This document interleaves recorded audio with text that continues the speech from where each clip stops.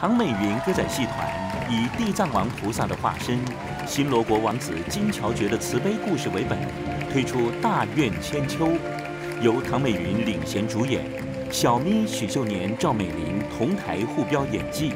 并邀请全方位作曲家李哲义与国立台湾交响乐团共襄盛举。公视 HD 频道七月十三号周六晚间十点，《大愿千秋》。